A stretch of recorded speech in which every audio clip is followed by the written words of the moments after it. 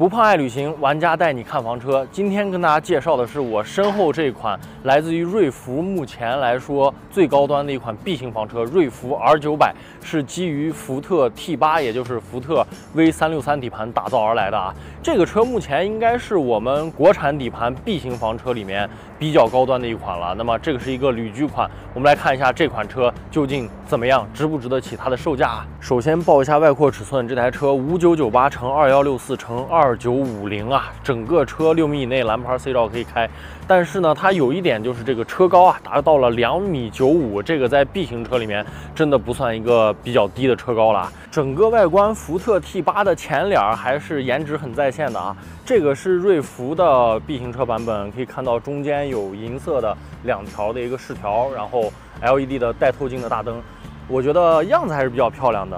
中网整个是熏黑的，然后我们刚好可以看到旁边有一台，这个是江铃原厂的 T 八的 B 型车啊，这个车前脸跟刚刚那个呃瑞福 R 九百就不太一样了，是这种点阵式镀铬的，可能豪华感显得更足一点。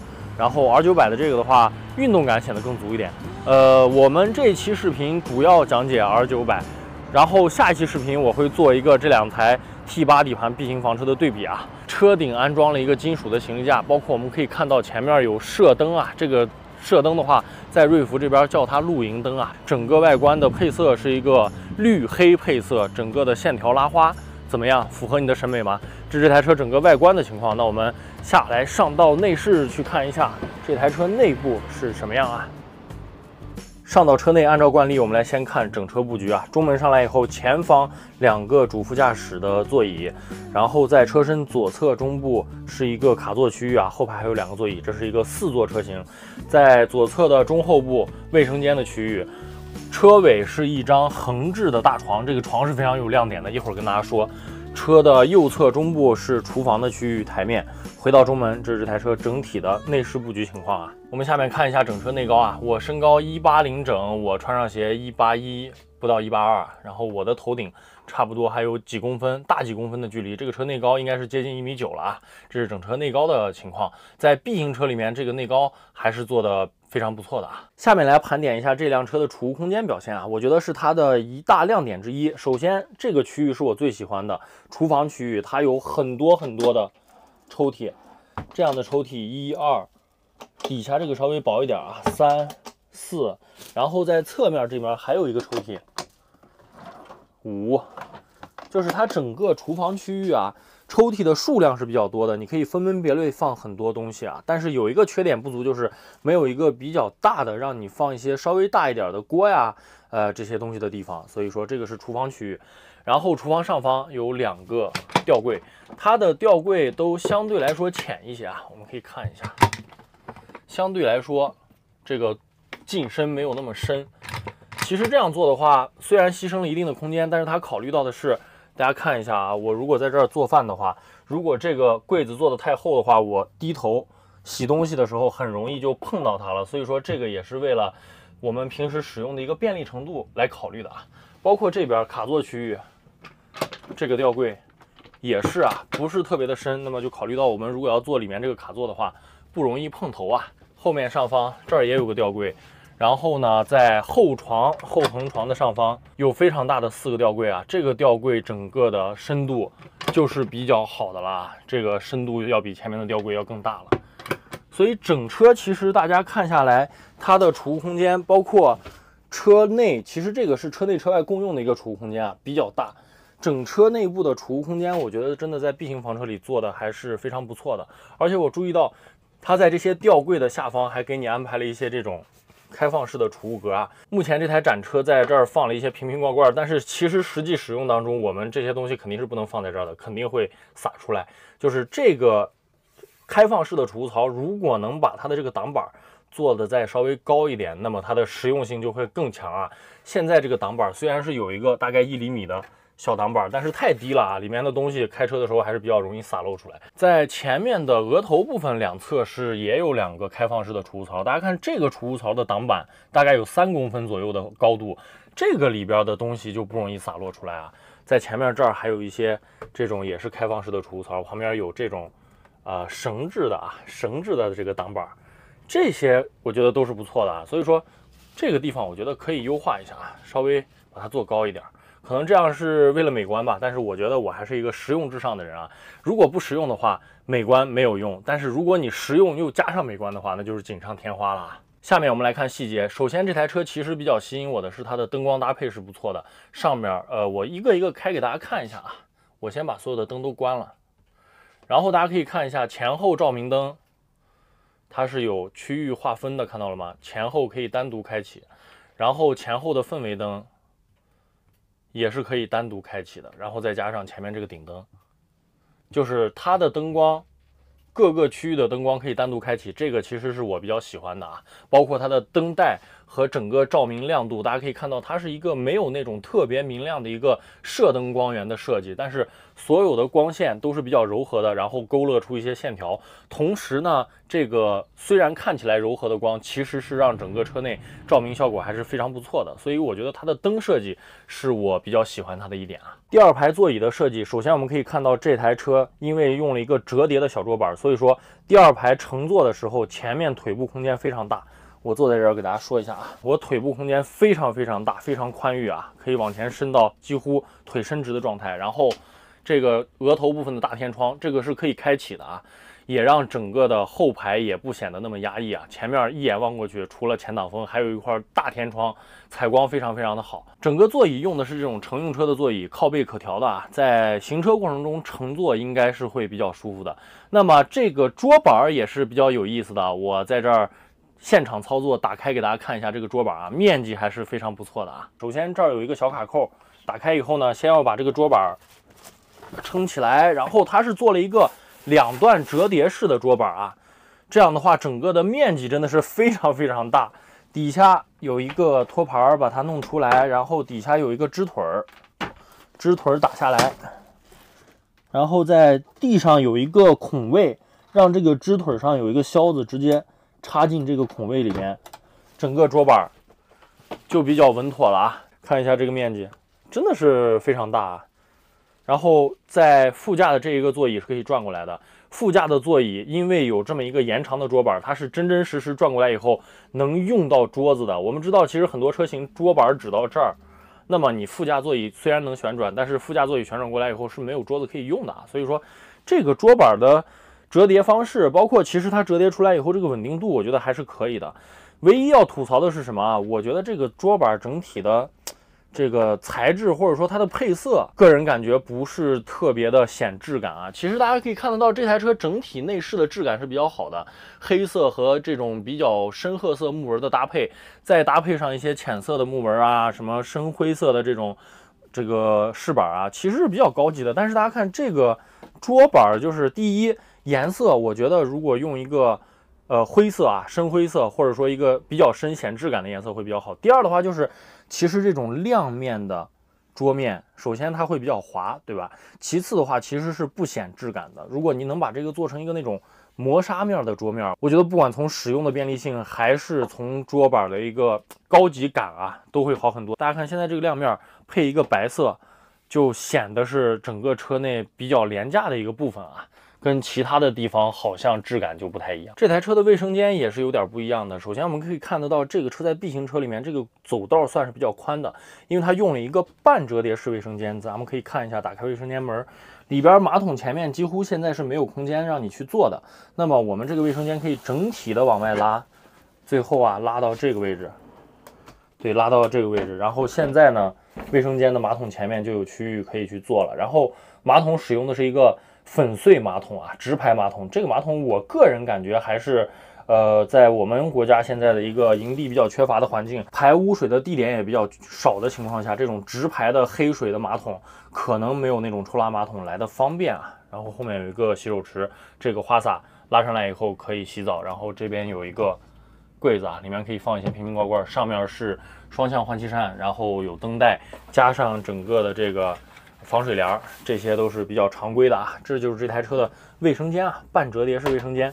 当然呢，这种半折叠式推拉的卫生间肯定是不如那种一体式卫生间，你在淋浴的时候防水效果好的，多多少少可能会有一些水从边缘渗出来啊。但是它整个卫生间的地板其实做了一个下沉啊，应该问题不会特别大。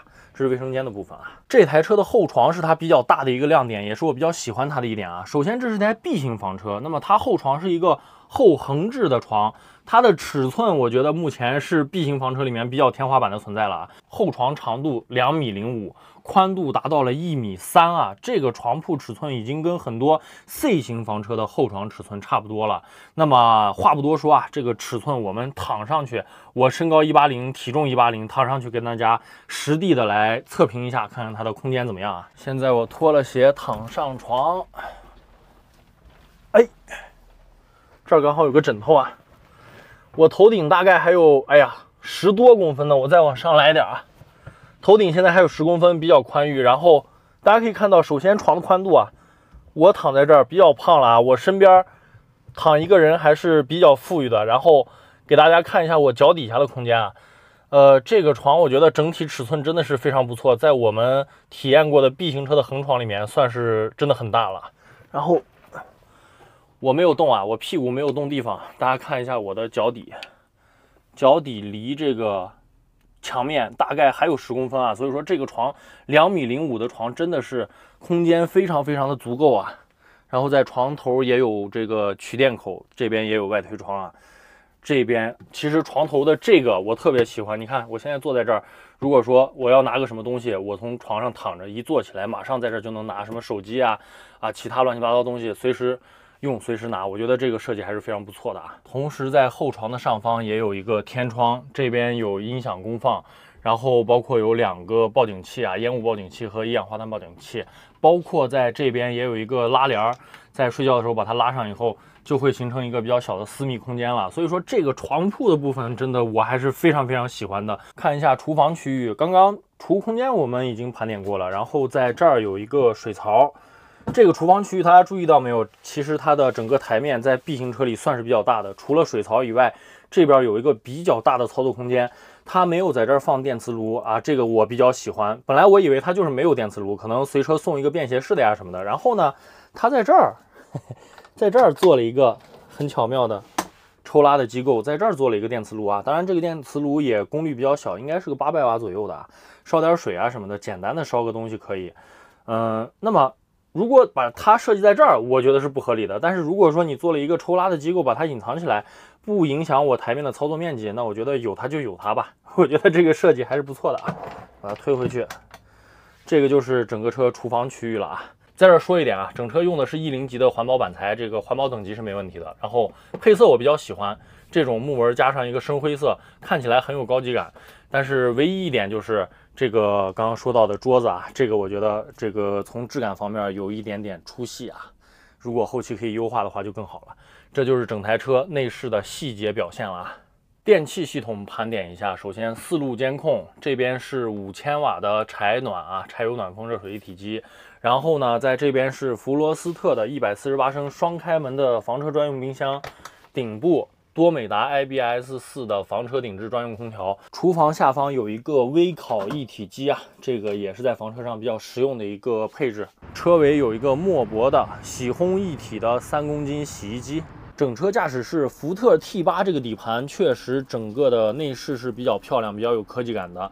然后整体的一些舒适性的配置，包括定速巡航呀这些大屏啊这些配置都是有的啊。这个咱就不多啰嗦了。水电配置给大家盘点一下，水的话，一百四十五升的清水箱加七十五升的灰水箱加四十五升的黑水箱，这个跟咱平时看到的这种用抽拉式合式马桶不太一样啊。它黑水箱容积是比较大的，因为它是一个直排的形式，所以说容积大的话可以减小我们去排黑水的频率啊。那么电力系统的话是四十八伏二百安时的电。电池，也就是十度电左右，但是呢，这台车是不带太阳能板的，因为这台车上面是选装了金属的这个行李架。